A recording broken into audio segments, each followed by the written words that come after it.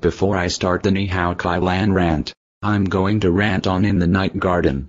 Enjoy. In the Night Garden. More like in your mom's anus. Oh my god. This show success. This show is about these characters named Igglepiggle, Upsy Daisy, Makka Pakka, and others. And they like to go on failure adventures. Igglepiggle is so clumsy, since he always falls on his ass a lot.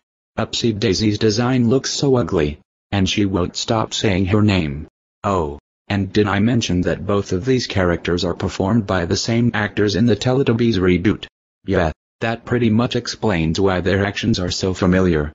Makka Pakka has a really strong fetish for mud, which is why he loves jumping in them. The Tombliboos look so creepy, even though they suck. I still think they shouldn't have made these characters, or the show itself.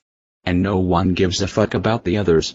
Not two, three, four, five, six, seven, eight, or nine either, not even 21. The animation looks horrid and pathetic. There isn't a single hint of story to be found anywhere. The music is crappy.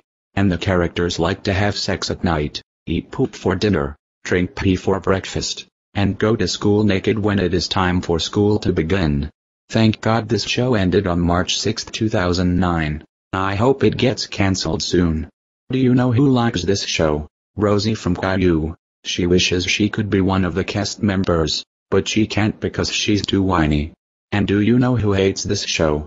Nostalgia Dude 1998. He wishes he can jump into the TV and shoot all the characters. Screw in the night garden. And screw Franny's feet. The following users are so many times better than in the night garden. End of rant. Next rant. Ni hao Kai After the Ni hao Kai rant, Sanjay and Craig,